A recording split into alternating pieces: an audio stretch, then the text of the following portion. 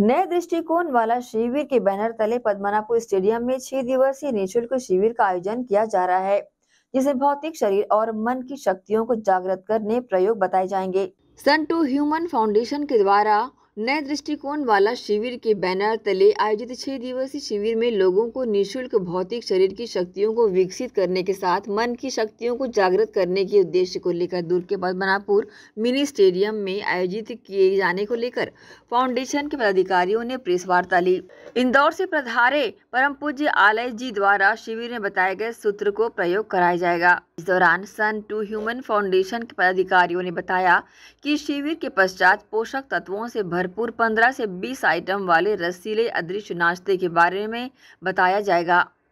उन्होंने ये भी कहा कि शिविर के माध्यम से पूरा प्रयोग करने से 21 दिनों के भीतर मनुष्य के अंदर काफ़ी कुल एनर्जी और अनुभव पाए जाएँगे।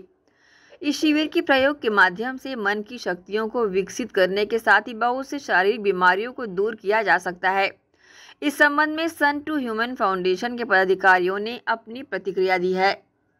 शिविर जैसा कि आपको बताया गया है कि ये नए दृष्टिकोण वाला शिविर लगने जा रहा है।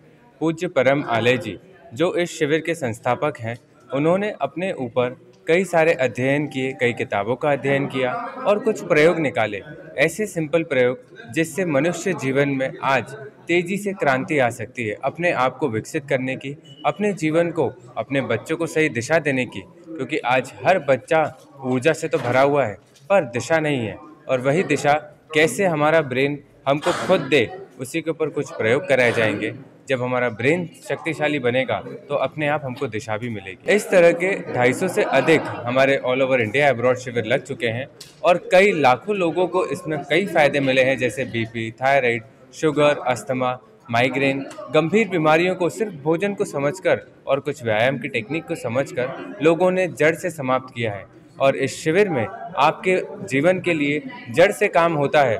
हाँ लक्ष्य ज़रूर हमारा ब्रेन है, लेकिन काम जड़ से किया जाता है। आज क्योंकि हम सबकी लाइफ में सब कुछ है, लेकिन व्यक्ति जड़ों पे काम नहीं कर रहा है। ऊपर ऊपर ही तल पे सारे काम कर रहे हैं। पर जैसी जड़ मज़बूत होती है तो अपने आप सारी चीज़ें विकसित होती चली जाती दुर्ग शहर में एक बहुत सुंदर कैंप नए दृष्टिकोण वाला शिविर लगने वाला है। जैसा कि इसकी टैगलाइन है, प्रवचन नहीं, प्रयोग। इसका एकमात्र उद्देश्य है कि कैसे हर व्यक्ति आज जो खुद से इतना दूर हो गया है, ना अपने भोजन को जानता है, ना अपने व्यायाम को जानता है, ना नींद को जानता है, ना लाइफस्टाइल को समझता है, सब कुछ करने के बाद भी बेचैनी से भरा रहता है। नींद नहीं आती मेडिसिन चलती हैं, बीमारियाँ हैं, वज़न ज़्यादा है एडिक्शन इतना ज़्यादा है तो इन्हें कैसे सरल प्रयोगों से ठीक किया जाए?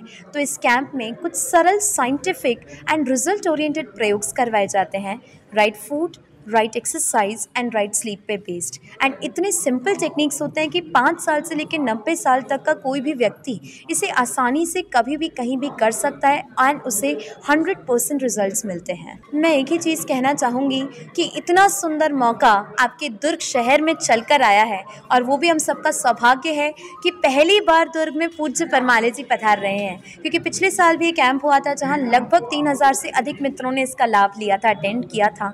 पर तब तीन दिन का आयोजन था और इस बार पूज्य परमाली जी स्वयं पधार रहे हैं।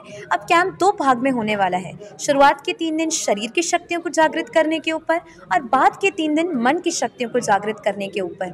तो कोई भी इसे चुके नहीं, अपने पूरी फैमिली को लेके, चाहे हस्बैंड, वाइफ, बच्चे माता पिता फ्रेंड्स, ग्रुप, सभी को आप लेके आ सकते हैं और बहुत जॉयफुल रहेगा, बोरिंग नहीं होगा, बहुत इंटरैक्टिव सेशन होगा।